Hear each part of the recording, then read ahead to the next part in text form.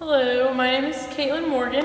I'm currently uh, an art major here at Mac, and uh, I chose to be an art major because it's influenced me my entire life, and uh, my experience here has been really well. Um, Abby is a great, great, great instructor.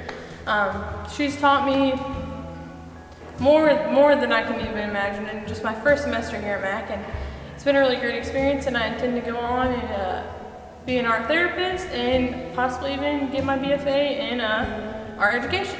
So, uh, my favorite style, I just like like uh, the contrast of just a black and white piece. So, say like black ink on white paper or uh, like a chalk on black paper. Uh, I'm currently learning about the uh, abstract form of art because I've never dabbled in that. So Abby's doing really well with that.